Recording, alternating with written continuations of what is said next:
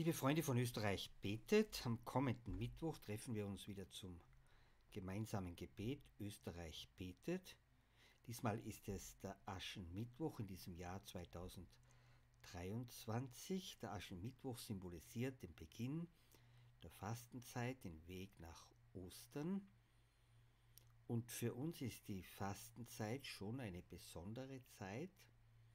Es ist eine Zeit der Gnade, wir können sagen, eine geschenkte Zeit, eine Zeit, wo wir auch wirklich aufgerufen sind, diese Zeit wirklich nachzunützen.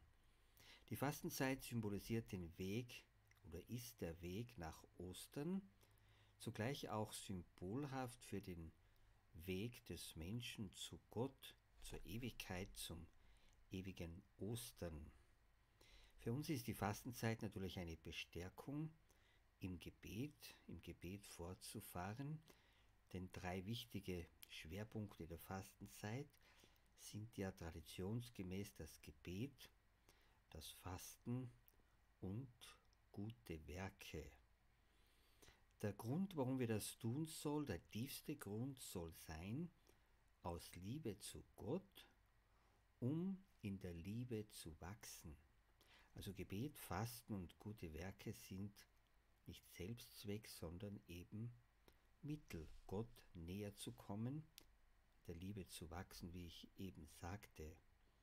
Und das Fasten hat hier auch eine besondere Bedeutung. Fasten heißt auch in besonderer Weise verzichten, freiwillig verzichten, bewusst und aus Liebe und dadurch stärkt das Fasten in uns die Selbstbeherrschung.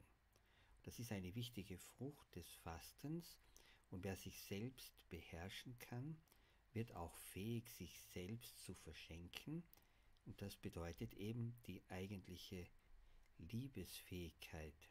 Nur wer sich selbst besitzt, kann sich selbst auch hingeben.